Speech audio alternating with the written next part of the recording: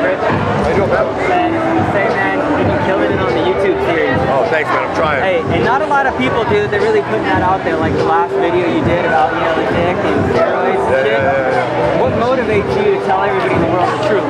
Cut through the fucking fat and tell people the fucking truth. I just want to get it out there, you know. I'm tired of people not being able to talk about things, you know. Yeah, yeah, yeah. Lying, lying, lying.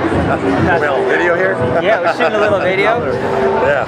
Also, uh, you know, a lot of crazy shit's coming out, like a lot of drugs of the future.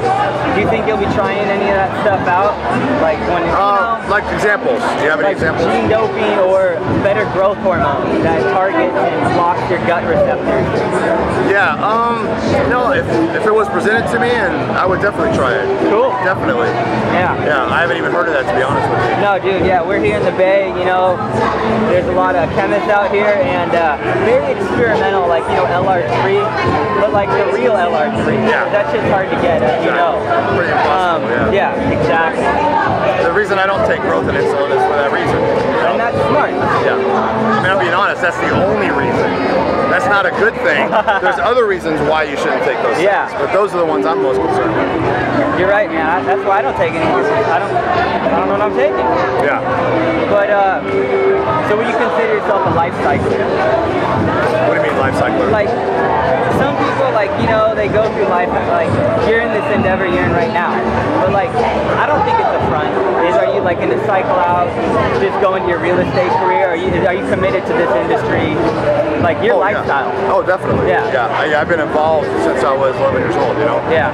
Mom competed, you know, so I've always been in the industry. Sure. Going to continue to always be in the industry somewhat. Yeah, But yeah, I yeah. diversify myself. So, you know, I got something going on here, here, and here, and here. And But that's smart, man, because a lot of these young kids think, you know, I'll just work out and be a professional and then get burnt out. yeah, well, they think they're going to make money being a professional.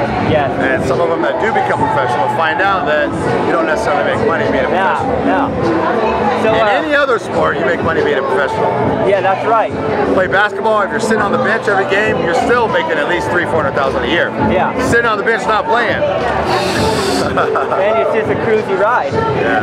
But, uh, dude, that's cool. You know, you're really bringing it out there to the next level. And I think you've inspired a lot of people to, uh, you know, up their game on this realist. Yeah, for sure. So, uh, any words to the wise for everybody just about fucking the bottom line, just trimming the fat? Trimming the fat, you know, just keep the carbs low, cardio, you know. It's, it's, I mean, the thing is, everybody knows the answer. Yeah. But they want to pretend like they don't know the answer because if they know the answer, then why aren't they doing it?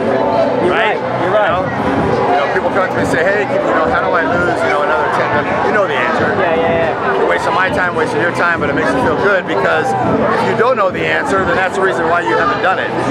But if you know the answer and you haven't done it, then guess what? Yeah, yeah, yeah. So, what about trimming the fat through um, the miles of bullshit other people are trying to push on us about, you know, the supplements and you should be doing this and that. Keeping your mind clear, being individual. Because you're clearly an individual, and uh, you know, I look up to that myself. And I think a lot of people are losing individuality themselves. Yeah. Know, it's just, everybody knows what you're supposed to do. Everyone knows how to do it. You know, and there is no easy way. There never will be an easy way. You know? Yeah. And if you find any kind of way that you think is an easy way, you know, there's going to be downfalls. You know, for every positive, there's a negative. You know, so if you're taking this and it does this, well, guess what? It's also going to do this. So you're saying there's no shortcut, basically? No shortcuts in life. Yeah. Yeah. And what's crazy is people don't think, but even if you said, I'm going to be a bank robber and rob banks, you still are going to work. You still have to work at it. There's a lot of work in being a bank robber. If you're going to be a drug dealer, there's still a lot of work in that. It's just like any other business, you know. I gotta, I gotta have the clothes made. I gotta buy them at a certain price. I gotta gotta fly out them. here. I gotta find people to buy them. And then I gotta Yeah. sell them. You know, and then I gotta send them out. It's a lot of work. Well, it's the same if you're a drug dealer. Same thing. This business works the same way. Yeah. You know, so it's basically there is no easy way out. Even if you're gonna go to crime, you're still gonna have to work.